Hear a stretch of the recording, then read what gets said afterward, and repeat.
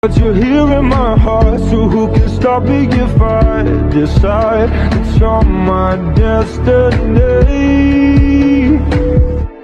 What if we